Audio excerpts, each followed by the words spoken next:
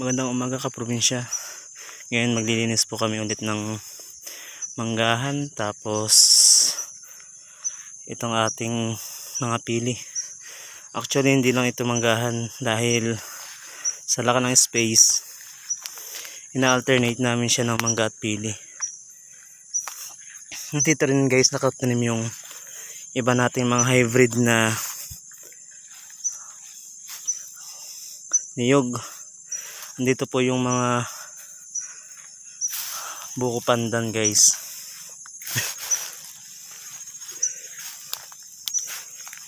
Ito ang ating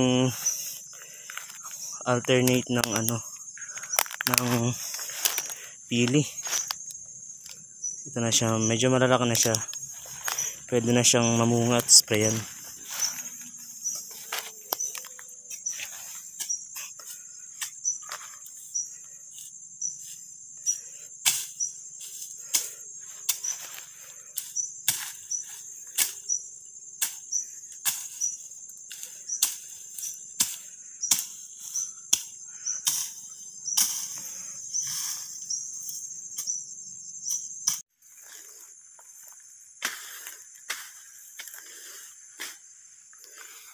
So guys, yung alternate nating mangga at pili. Tapos mga niyog. Kung saan may space, ito ka-probinsya yung ating gagawin para hindi masayang ang area. Pinupuno natin siya ng mga tanim.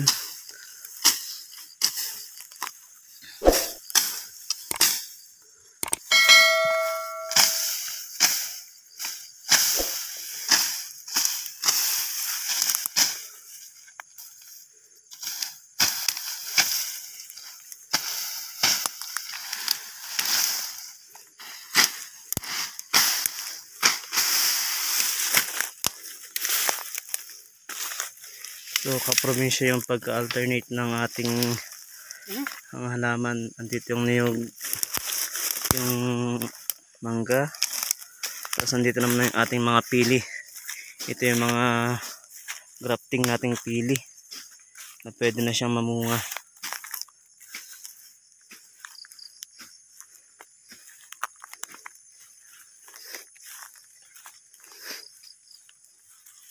Nasa 4 meters ang ating pagitan ng pagtatanim guys.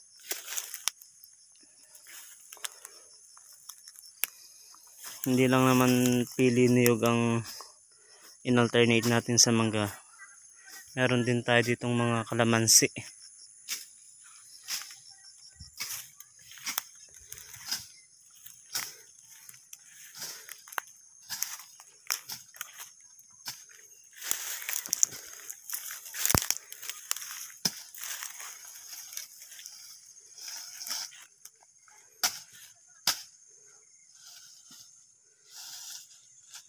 Ito guys yung mga dwarf.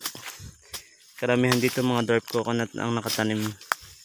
Ganito siya lumalapat sa lupa ang ating mga dahon.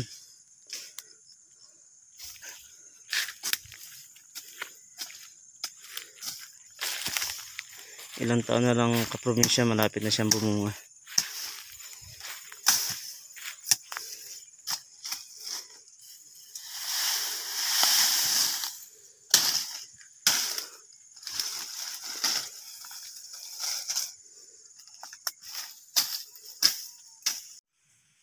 Inabot na tayo. Inabot na tayo ng ulan.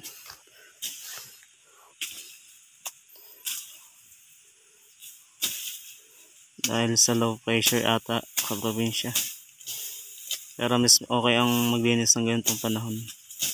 Hindi nakakapagod masyado.